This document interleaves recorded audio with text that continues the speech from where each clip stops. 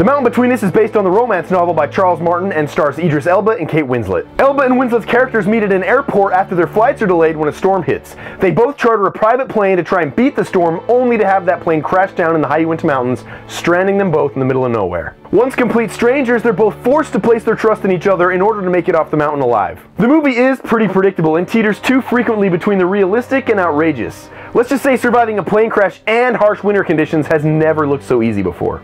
And honestly, the only mountain between Elba and Winslet isn't even covered with snow. It's smothered in chick flick cliches and tropes. For example, how many times have we seen lovers running towards each other in an open field to eventually meet with passionate embrace? Well, in this movie, as if once isn't enough, we get to see this overused trope happen twice. Overall, The Mountain Between Us tries to be a thrilling survival romance, but ends up feeling more like a mushy Nicholas Sparks romp in the wilderness. It's not terrible, but it's also not very memorable. That's why I give The Mountain Between Us a 2.